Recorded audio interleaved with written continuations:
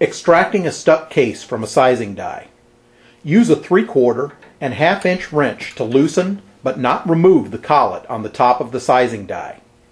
Using a 3 16 inch punch, drive the empty case out of the die by striking the top of the decapping pin with the punch and hammer.